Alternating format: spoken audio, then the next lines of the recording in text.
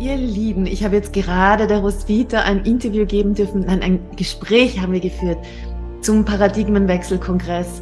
Und ich bin noch immer ganz, äh, ganz quirlig und in großer Freude, weil wir über so viele wichtige Themen gesprochen haben. Wie, wie kreieren wir Realität? Wie können wir uns ganz praktisch mit der, mit der Erde verbinden? Wer sind wir wirklich? Worum geht's jetzt? Wo stehen wir gerade in unserem Prozess äh, der Entwicklung?